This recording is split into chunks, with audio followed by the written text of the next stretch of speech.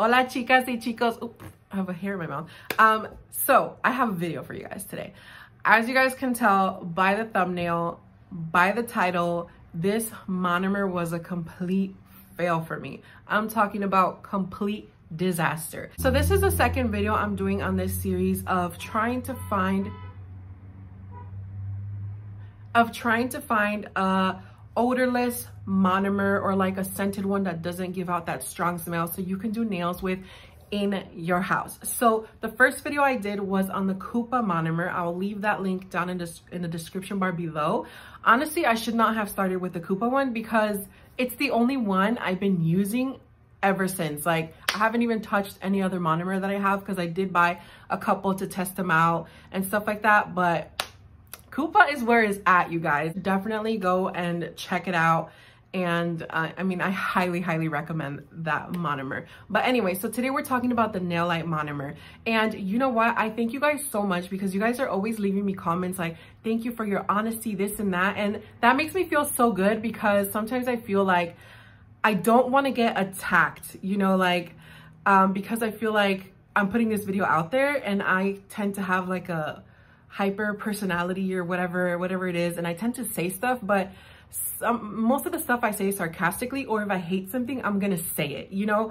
Um, I'm not gonna sugarcoat it or whatever because it's my money that I'm spending on this stuff and it's my personal opinion. I'm not saying I'm a professional nail tech. I am like still like at the loading bar, you know? I have improved some, but like I'm not even that good.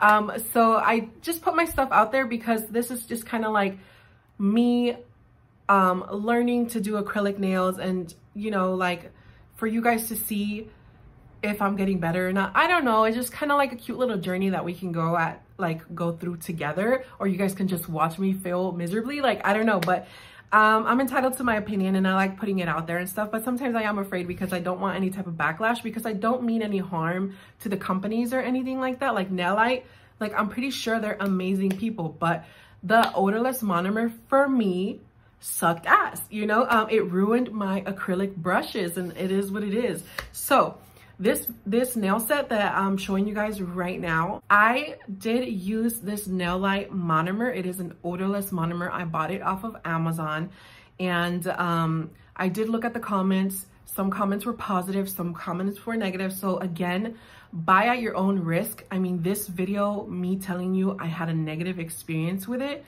still, if you decide to try it out, you could have possibly a good um, experience with this monomer. I just didn't. So I did use this monomer. I did two nail sets with this monomer and after that, I threw it away. It was not worth it. So the first nail set I did was only, um, it was on my practice hand. I don't know if you guys remember my marble, um, disaster blooming gel nails. I'll link that video in the description bar below as well. I did notice that I was starting to have issues with this monomer but again i just thought it was me because i was still beginning to do nails i thought it was just the way i was applying um, i didn't really my head didn't really go towards like oh it's um it's the monomer so when i did that nail set i only had two kiara sky acrylic brushes at the time when i did the blooming gel one it ruined one of my brushes. So again, I was blaming myself for that. I was like, oh, I'm probably not cleaning the acrylic out correctly because the acrylic was getting stuck into the in the brush. And I was like, okay, maybe I'm not wiping on the napkin as much as I should be. I should be dipping it more in the monomer and cleaning it out. So I didn't think anything of the monomer. Now, when I did this nail set on my daughter, um, I saw that it was the monomer, not the brush, not how I was applying. I mean, I still was so horrid at applying, but let me just tell you something. That acrylic that I was using on my daughter, the jelly look to it, it is so freaking cute. And I am thinking about doing like, using that again, trying to like redo this nail set, but like do it at the um, knowledge that I have now, the skill, if any, that I have now, um, I think that would be really cute because that um, acrylic powder was super cute. But anyway, so I was noticing that um, my my brush was getting really hard and stuff. And then when I was applying the acrylic, it was kind of leaving an indent in the acrylic of the brush because the brush was getting really hard. So um, it ruined my second Kiara Sky brush. And then I decided to grab all my other brushes. I was like, I'm about to finish this nail set. I'm taking one for the team. I'm sorry, brushes.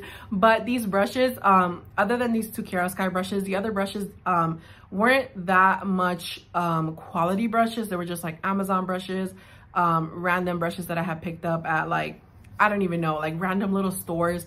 They said they were Kolinsky, but I could just tell the difference for my Kiara Sky brushes and these brushes. So I didn't mind ruining these brushes to finish up my daughter's nail set.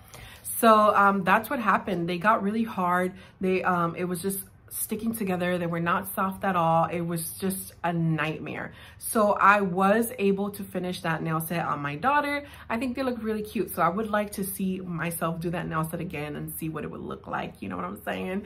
But anyways, yeah. So that was my experience with the Nailite monomer.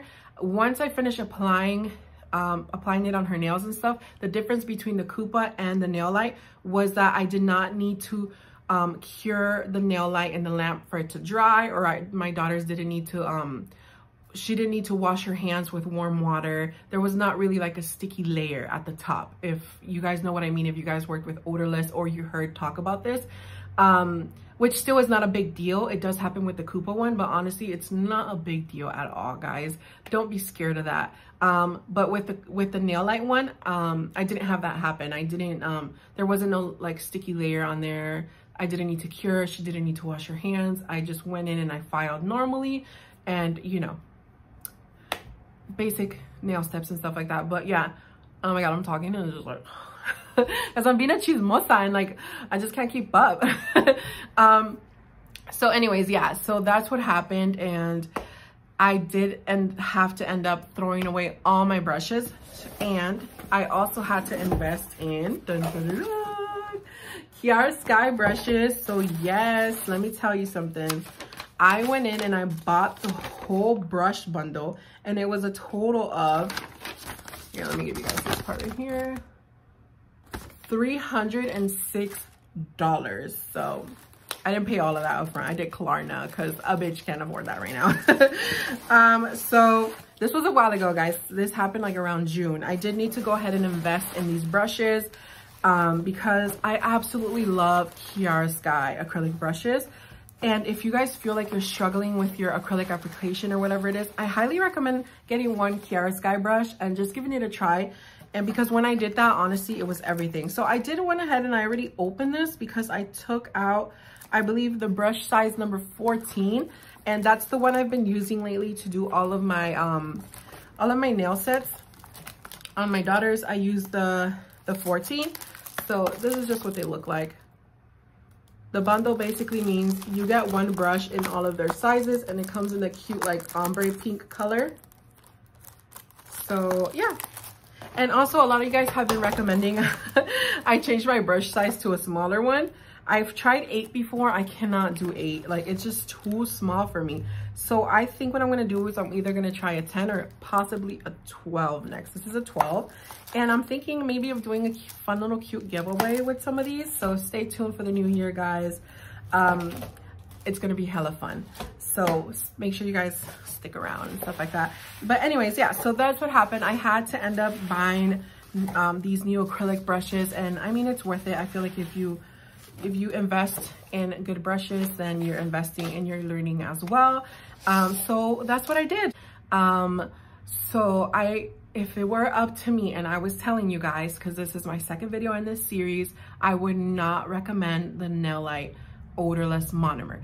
Now, it did do its job of not smelling. There was no smell coming from this monomer at all. If you're still interested in purchasing it, um, like I said, uh, I'm gonna leave the link to the one I purchased down in the description bar below. Maybe I just got a bad one from the batch, but I don't know because there are in the comments, I did go back into the comments after I had this horrible experience with it and I read that people, some people were having the same issues that I was, but other people were entirely loving it. So I don't know. I really don't know. Um, I would say purchase at your own risk, but out of my mouth, you're not gonna hear the words I recommend it because I do not. Stay away, Satanas. Um, but yeah, so before when I started doing nails, I started with like the purple liquid that they use at the nail salons. Let me go get it. All right, so this is the monomer that I started doing nails with. I bought two of these, so this was my second one but this smell is super strong. Like i don't get any headaches from none of like i'm okay with all of these scents. It does nothing to me. But i do have children. I have um my youngest is three and stuff and i didn't want her inhaling this all the time.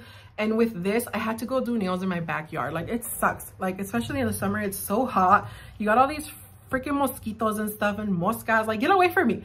So i had to do nails outside.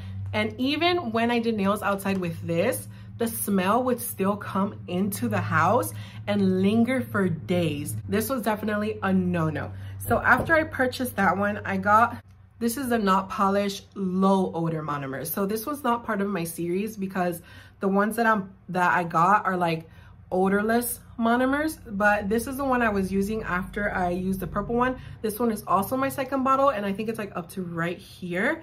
So the thing with this one is for me, it, it's definitely low. okay, it's not that low, but it is uh, way lower than this scent. Um, so it is low odor because of that, but still cannot do nails in the house with this one. The positive thing with this one was when I was outside, it didn't linger into the house, but I still had to do nails outside the house. And I even tried buying the Notpolish neutralizer from low odor to no odor. And I even made a video with this. I'll link it down in the description bar below.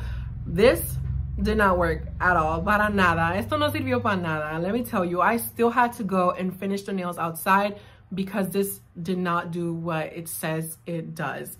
Um, so yeah, so then after that is when I did the Kupa video for you guys with this one. And you guys hear that? Emptiness.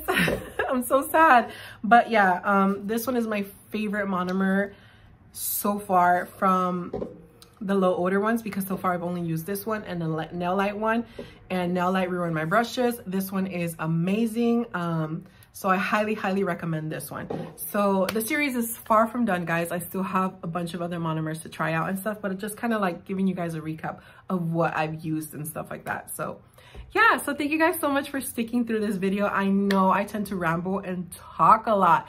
I'm so sorry. I like, I space out. I just love talking. I love giving you guys information, everything that's in my head, like you know but anyways yeah thank you guys so much for watching this video um let me know down in the comments below if you guys have tried the Kupa one since my last video I did have a bunch of you guys in my comments telling me you wanted to try it or you ordered it let me know how that has been going with you guys or let me know if you guys have tried the Nailite one before and tell me if your story is different from mine. Have you had luck with the Nailite one or is your story similar to mine and did it like ruin your brushes and just make you stress so badly like because that's what it did to me?